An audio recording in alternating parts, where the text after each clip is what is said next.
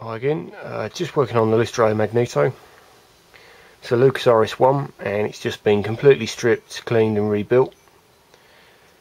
Taken a couple of weeks to do this, but it's all back in one piece now. I was quite pleased it sparked as soon as I put it back together. I hadn't even gapped the points yet, so that was a good sign. Just gapped the points to 0.3 millimeters. You can set them from between 0.25 and 0.3 which I believe is about 12 to 15 thousandths of an inch. Uh, that seems to work very nicely. It works just turning it over ever so slow. You might be able to see the spark there. Really good spark at such a slow speed. So I'm well chuffed with that basically all I've done is just taken it right apart, washed everything in white spirit, cleaned it all up, polished, and uh, just generally made sure everything's clean. That's that's key with magnetos. I haven't yet replaced the coil or the condenser. The coil seems good, um, but I might get a rewound one, keep that in stock. So I've got a few engines with these mags and I'm definitely going to replace the condenser because it is just arcing across the points slightly. Um, so I think the condenser has failed there.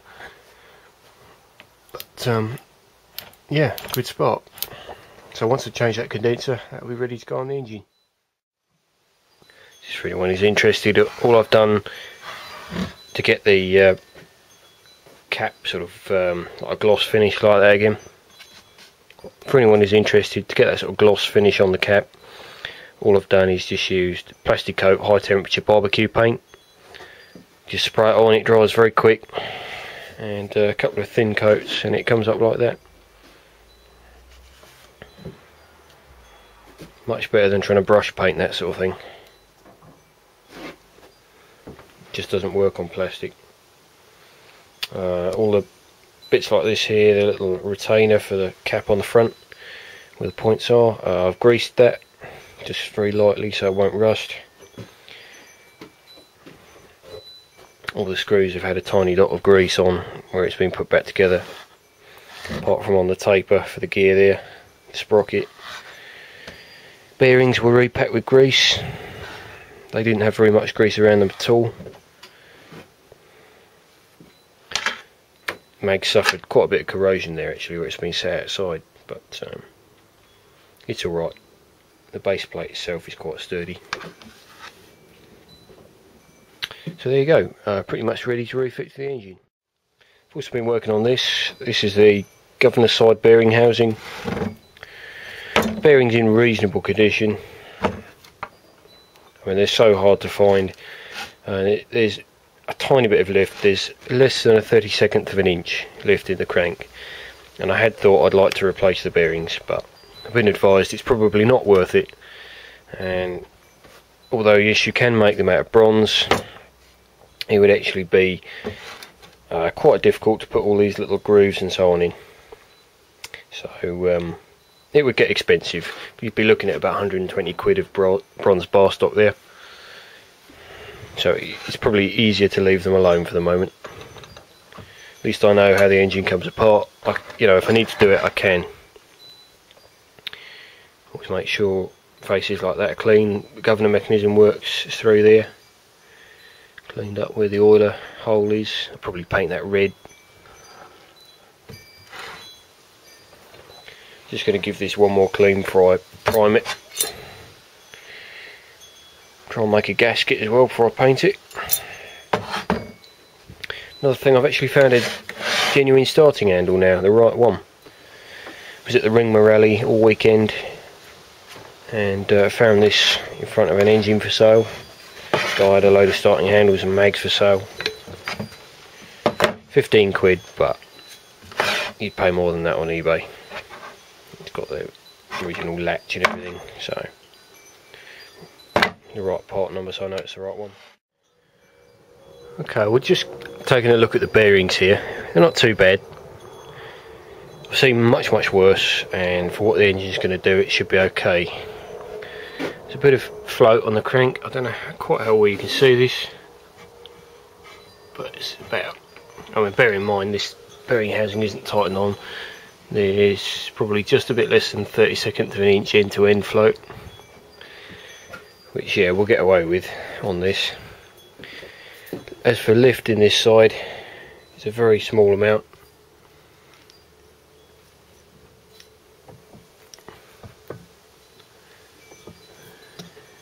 very small amount of play there. This end, however, uh, this is the magneto chain drive side. This is governor side. Governor side, of course, being the pulley side, you would expect that to have worn more, but um, it hasn't. Strange. But I mean, there was so much gunge in the engine. What I suspect has happened is that the oil ring, which you might be able to see there, it got gunged up and it wasn't running in its little trough there properly so there's again just under a 32nd of an inch lift bear in mind this is dry. So once it's got oil around it it'll be better. Any more than that and I'd definitely replace them I think. But um, we'll get away with that. I spent quite a lot of time cleaning up the crank. There's still some watermarks there which is a shame. But I really can't get rid of that without taking too much off that. So got to leave that alone. But the keyways and the crank you know it's, it's cleaned up reasonably well you can see where there's pitting there the engine's had a lot of water through it at some point but anyway yeah it's cleaned up quite well so just got to work with it I'm afraid I've seen far worse out there, so I'm sure this engine will be alright. Uh, what else have I done? Uh, I've cut a gasket for the cylinder, just flexoid paper. Fine with that paper, you don't need any sealant or anything like that. Get a really nice seal. And that there, the cylinder casting, it's had four coats of gloss, as has the crankcase. So these are ready for when the engine comes to be reassembled. Just made a gasket as well for the uh, governor side bearing housing there. And uh, that's going to be primed once it's been cleaned up a bit more. So it's coming along. The two flywheels, I've got to put two more coats of gloss on those. Uh, what else? Oh yes, that cast base there, I've still got to strip the rest of the paint off that. And it's got a badly damaged mounting lug there. I kind of would have left that in the past I think, but I would like to do something about it. So I might have a, have a go at making a bit of metal to get brazed in there. If that's not going to work, I might have to leave it. I could actually leave the base off the engine it's one on eBay at the moment, but starting price of 50 quid and it's had a bid already, so uh, that's out of the question. If I run without it, then I'm going to need a couple of bits of steel beam to bolt the engine down to, just raise it up off the deck a bit. So it's coming along okay. Uh, what else have we got to do? Yeah, a few little bits to do still. The governor, weights themselves, mag bracket and I've got bits like the carburetor, crankcase door and so on upstairs uh, they've all had two coats of paint I think um, so they need two more. That's about it for the moment. As for the trolley for this engine it's probably going to get an oak trolley. I think that'll look quite nice.